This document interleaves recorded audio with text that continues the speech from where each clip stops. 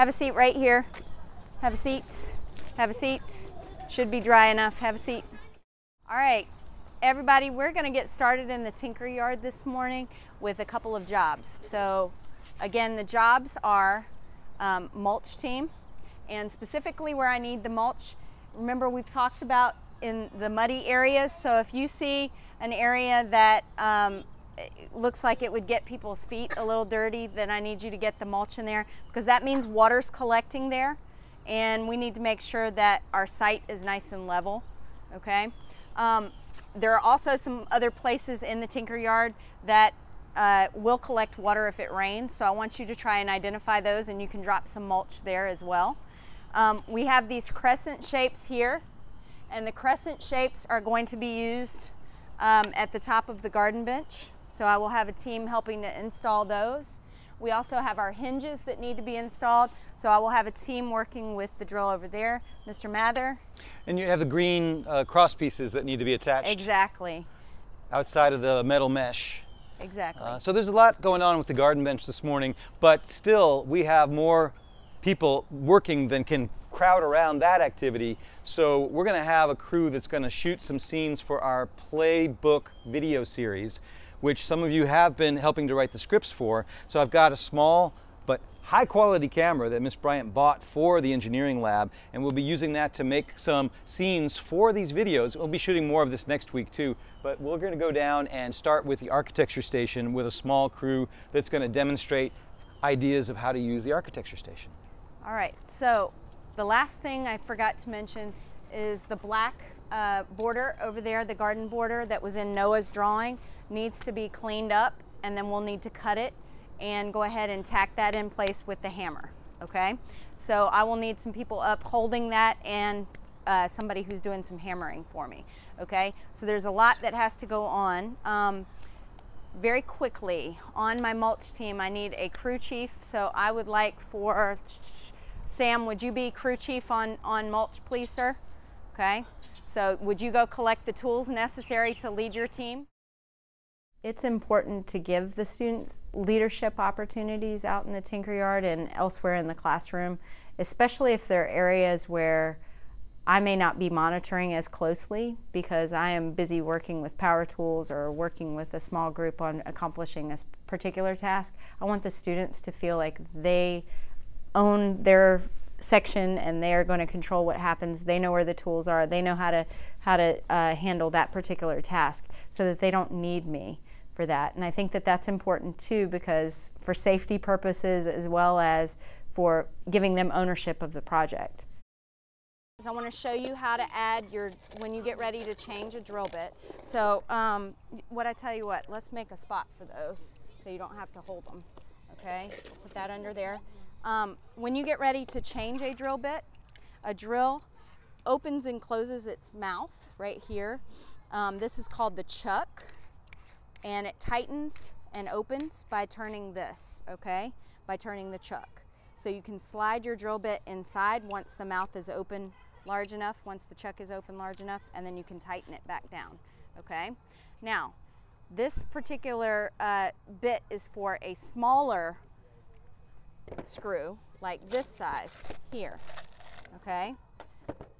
The one that is in this one is for a slightly larger size screw. So when you use these screws here, which drill should you use? Yeah. Why? There's a large screw in there because uh, hang on, hang on. I hear a lot of people talking at one time. Why am I using this one for the small ones? That's what you told me. Maya, Because yeah, the drill, the bit on the end, the driver bit on the end is smaller. You're right. So this one fits this size screw, okay? And this one fits this size screw. So you know when I ask you to go get a, a, a drill what we're looking for. Now I have a question for you. Which size screw do you think if we need to, to put this in place, and we labeled them yesterday when, when the class cut them, if we're gonna put this in place here, Another aspect that was going on in the Tinker Yard today is we were working on um, some of the steps to completing the garden bench. Uh, and that was adding the hinges and um, adding uh, the door handles and starting to put some of the sculptural elements up on the top. This is a support piece that will help keep our bench nice and strong. Okay, so I would like for Avery, would you grab the correct drill to put in the long screw for me, please? Excellent, somebody was listening. Excellent job. All right, so now what I need for you guys to do is I need for you to line up behind Myron for me. Line up behind Myron. Everybody's gonna get a little bit of a turn. Okay, all right. Myron, we're gonna jam that in there and very quickly on this drill, you have different speeds for which you can cause the drill to go. We're gonna just leave that alone, but you do need to know this is forward, the button here goes forward, and there also is the trigger right here that spins it, okay? All right, so Myron, you're gonna pull the trigger for me, okay? Let's see here, go ahead. Excellent, nice work. I think whenever you let a student use a power tool, there's at first there's some safety things that you absolutely have to cover. There also they need to know what the different parts are called so that when they are needing a tool from someone or needing something done to the tool and they have to ask a peer to help out with something, it gives them the vocabulary and then the power. Vocabulary is power. So giving them the power to be able to ask for what they need is very important. Also, giving them the ability to use the tool in a structured way is important too, so that they know exactly what the tool is designed to do, they know what their body is designed, how their body is designed to use the tool, and they know uh, then how to properly do it. It's, it. It all is important for them understanding what the mission of the project is too, how that tool integrates into that. And so it's important to stop and have those conversations. Even though it takes time and class periods are usually short, it's important to go through that. If you guys would come on over here and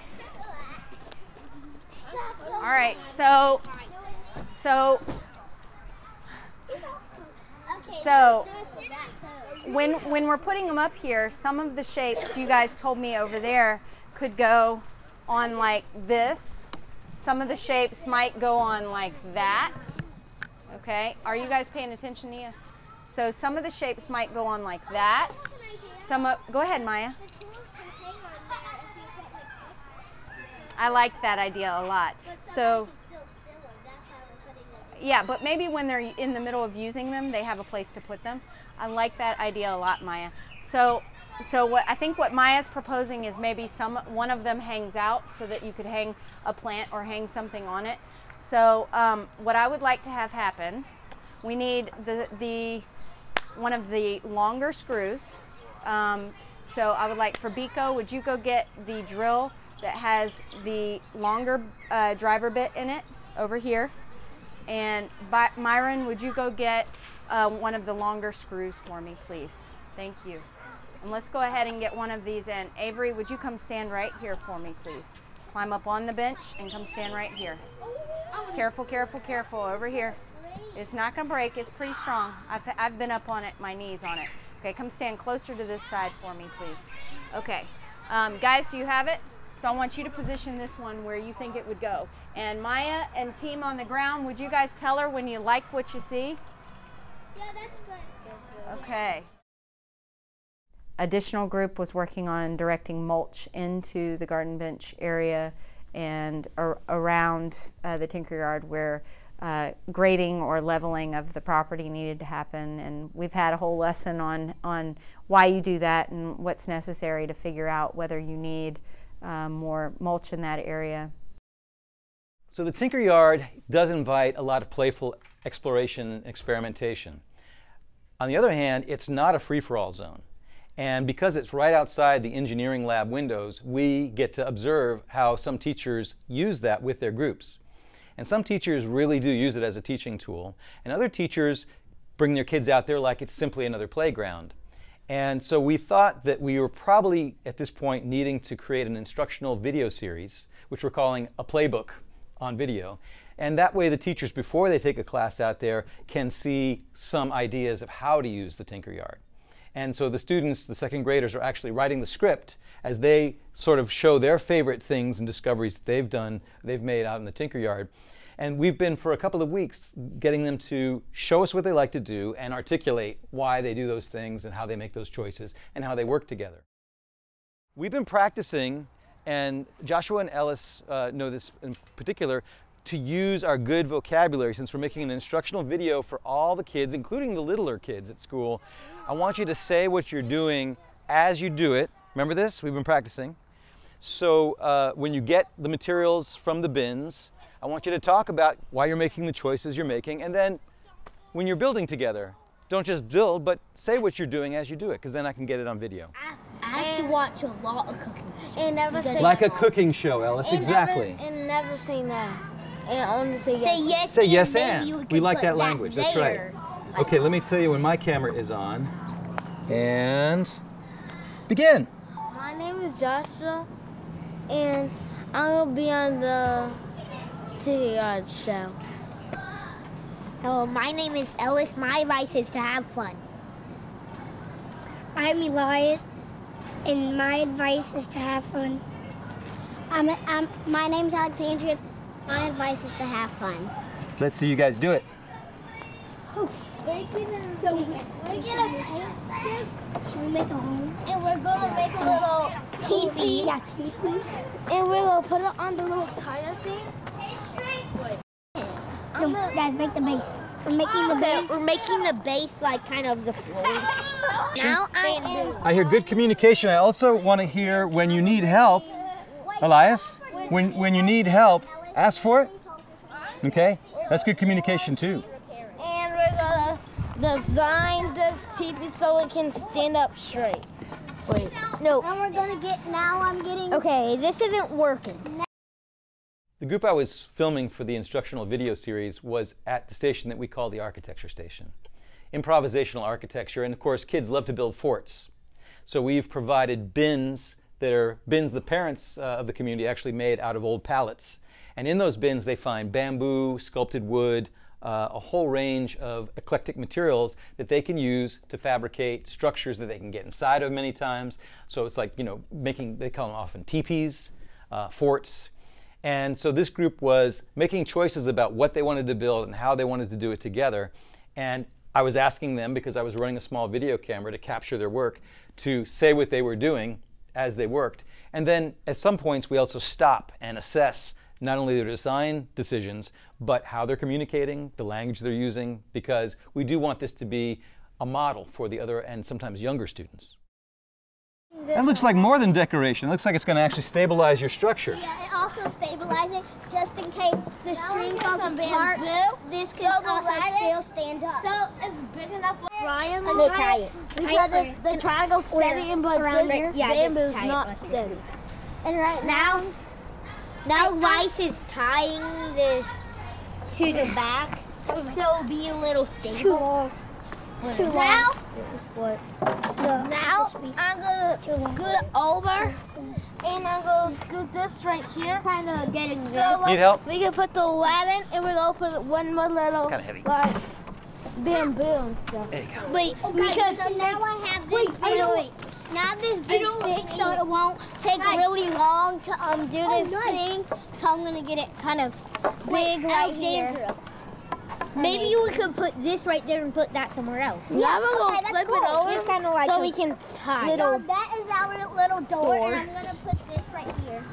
Wait, We're I'm putting this lattice over here And then so- it's like bird, and this No, part is kind No, of like, like a birds. No, we're gonna put that big one over here on here, I'll cause so it's big enough fall and do stuff bad. Good teamwork. Wait, put it like this. on here. now we're putting Yeah. this big piece of wood right, Right here. It may actually balance. Yeah, so it can. Is that really going to stay? Yes. yes. That's Okay. why we have a lot of material Now, to look, kind of hold so the it. turtle shells Because if we have more material, because if we have more material, it will be it will be more steady and it and it and, that can, and, it, can, and it can actually stay on there and not fall off. I just put a bucket right over here by this little piece of. Uh, I just hit the pause. Let's circle up and have a little discussion of what we've done so far, what you guys have built so far, and how you've done it. So come over here, would you? Just kind of like take a knee, but not in the mud. Like we do in sports, we say, take a knee. Okay, so I, this is off for the moment. Um, great job so far. I've got some really good clips that I think we'll use for the instructional videos to show.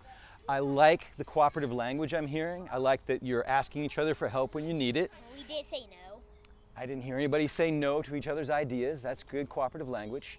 Um, so let's turn around and look at what you've got so far because it's growing pretty fast right now.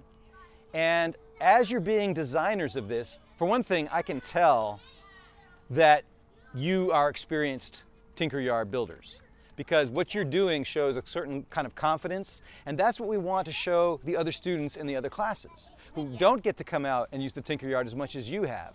So you're being good confident designers, collaborators, and I hear that in how you're talking and how you're moving with confidence from the bins, from the storage bins and over to your work area. So right now, I want you to pause and assess what you've built without, without considering building onto it right away. Just circle around it and look at it with a critical eye and see how you might improve it and then continue. Even talk to each other about that. Okay, hit the pause button again, guys. Hit the pause button. Good. So what you're doing now is real interesting to have on our instructional video because we call this re-engineering. You have built, you have designed, and now you're editing your original ideas to make it more stable and to make it look the way you want it to look. So that re-engineering step happens a lot on the Tinker Yard. It's always part of tinkering. When you're tinkering, you make a change and then you say, maybe I'm going to take part of that back and change it again. So this is a good part of your process to have on camera. We saw that there was too much labrys, so we were like, we could take some. Lattice? Yeah, we could that we could take some off, and we took Okay. some off. Yep, that's good. That's good re-engineering and good design discussion. We could kind of take some of this lattice off so we could keep the door so this could kind of be the door because it's kind of a door okay, so let me make a suggestion. Um, I kind of like the way it looks right now, and I challenged you and asked you a minute ago, can you still get inside it? Yes. And I heard yes, but now I'm wondering, it looks a little tight. Kind take take How like many, how many of you can still fit inside it? Probably like one See, or two. watch. Show me. How about just show me? Wait, not this Show the camera. I'm going to get this running again. Uh, okay, only one person. At a certain point, watching the students build, I find that they then start to edit their creation. And they start to subtract and not just add elements. So the language that I was offering them was to re- refer to this as re-engineering. And this is something that we see students on the Tinker Yard doing constantly. They, they create and then they step back and they make different choices, or a friend that's working with them suggests a different way of doing something. So they're re engineering, they're um, making something that serves their purposes more closely. Uh, at one point, I asked them, did they intend for everyone in their collaborative group to be able to get inside their structure? And they said yes, but then they discovered that they actually didn't fit. So then they started to reconfigure what they were building so that it could work that way. Raise your hand if you are on the black border crew, the washing. It looks a lot better, and once it dries, we'll be ready to put it up. So give yourself a pat on the back. Thank you very much. Raise your hand if you are on my handles and hinges crew. Awesome. You guys did a really nice job today. Also, do you guys notice the yellow uh, handles that are on the bench over there? Oh, yeah. They did a really nice job. Give yourselves a pat on the back. Excellent job. Excellent job. And we started adding the yellow crescents up at the top. It looks really nice. You guys did great work today. All right, so you should be facing forward, please, behind Ellis. And Nia, you can go ahead and take a front front drive there. And yes, uh, we will have a moment for you to wash your hands when you go inside. Uh, by one moment, that's literally what I mean. You have about 30 seconds to do that, and then I need you back in your seat, okay? And we'll get started inside, okay? Let's go. Ah, and please no hand dryers. I'll be out with some paper towels for you, okay? Yes, yes.